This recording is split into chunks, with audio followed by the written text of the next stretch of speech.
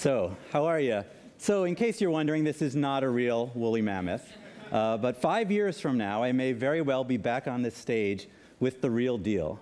Because right now, a team of geneticists at Harvard, run by a narcoleptic dyslexic genius named Dr. George Church, are on the verge of bringing back the woolly mammoth.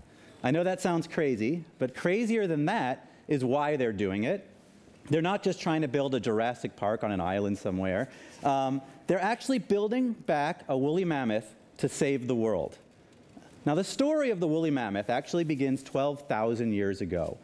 An ice age was ending. It was the end of the Pleistocene era. The world was warming, uh, but the woolly mammoth was doing okay. There were millions of woolly mammoths living around the ring of the world, um, the area that is now Russia and Canada. And these animals were doing fine, even though their environment was warming, until we came along. We tasted one and we decided they tasted good. Early man ate the woolly mammoth out of existence 12,000 years ago. Most of them went extinct because we ate them. A small family of woolly mammoths crossed an ice bridge to an island called Wrangel Island in the Arctic Circle. And this family, that was 500 strong, lived another 8,000 years protected on this island because the ice bridge melted and people couldn't get to them. So they were around while we were building pyramids. That's a crazy thought to me. Then, of course, some people built a boat, went across, and ate the rest of them. So the woolly mammoth was gone 3,000 years ago. Fast forward to today, 3,000 years later. The same families, the same relatives of the people who ate the woolly mammoth are now going up in boats to the Arctic Circle looking for their tusks. Because it turns out woolly mammoth ivory is worth a quarter million dollars a tusk. Because this is legal ivory. Elephants are endangered, you can't take their ivory, but you can take woolly mammoth ivory.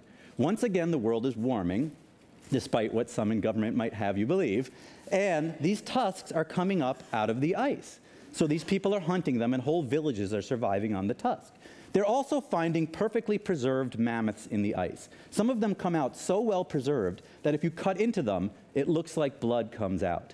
They're sending this physical material back to labs all over the world. And that's where the story comes back to Boston. Dr. George Church, the eminent geneticist, he's essentially the Einstein of our times. He helped found the Human Genome Project. He runs a lab at Harvard. He's six foot five and has a huge white beard and hair. Uh, when he was on Colbert, Colbert asked him, Are you playing God because you look the part? Um, George was sitting in his office when he got a call from a reporter from the New York Times. The reporter was calling because a group at Penn State had sequenced the entire genome of the woolly mammoth. And the writer, thinking that wasn't enough for an article, called George to ask, if I gave you the sequence of a woolly mammoth, could you make one? Now, That's a crazy question. George thought about it and he realized, yes, I can. Um, this is not Jurassic Park. In Jurassic Park, they find dinosaur material in an amber, uh, in an insect trapped in amber, and then they clone it. That's fiction, because in reality, there is no dinosaur material. We don't know the genetics of a dinosaur because none of that survived millions and millions of years. But mammoths are only 3,000 years extinct. We do have their genetic material. You can't clone them because it's been bombarded by radiation for 3,000 years. But what you can do is synthesize it. And that's what George realized. You could pick the genes that code for a woolly mammoth the red hair, the big tusks, the big nose, a little tail, flat ears, the ability to live in the cold, and these are 23 genes that make an elephant into a woolly mammoth. You take those genes, you synthesize them, and you insert them into the embryo of an Asian elephant. So an Asian elephant gives birth to a woolly mammoth. Sounds completely crazy, right? The question begins then, why? Again, we don't want to make a Jurassic Park and have them rampage through Boston, although Hollywood would like that to happen, but that's not what we want. And this is where the story gets really interesting. So go back to that ring of the world in Russia and Canada. It is now permafrost, permanently frozen ground. That permafrost is a ticking time bomb. It contains within it more carbon and methane than if we burned all the forests on Earth three times. Now, that is on the verge of melting, and when it does, it's game over for all of us. These Russian scientists, the Zimovs, the father and son team, have been running an experiment since the 80s whereby they've roped off a section of the permafrost and they've repopulated it with Pleistocene era animals. Yakutian horses, these are the furry horses. They're using reindeer, they're using bison. They've got a World War II era tank that they stole off of an army base. They're driving it up and down to mimic a mammoth.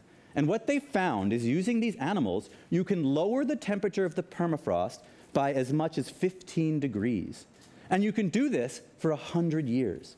And this is a crazy thought. And the way it works is the mammoth knocks down trees, trees draw in more heat. High grass actually reflects more heat. They also dig up the snow, allowing the cold air to touch the ground beneath and refreeze it. Then they pack the snow back down, and the snow is a great insulator and also very reflective. So this science is really wild. It actually keeps the area cold. We used to think that the environment changed, so the woolly mammoth died. The reality is, the woolly mammoth died, so the environment changed. So Dr. Church realizing that there is a solution to this one big problem. And the plan began not to make a single woolly mammoth, but to make 80,000 woolly mammoths. And the goal is to take a herd of woolly mammoths and repopulate the Siberian tundra. And I know that sounds crazy to all of you, as it did to me when I first heard this story, but think about this one small fact. We're making a movie about the woolly mammoth, and the movie about the woolly mammoth will cost 10 times as much as to make a woolly mammoth. So really, it's only science fiction until you take away the fiction, and then it's just science. Thank you very much.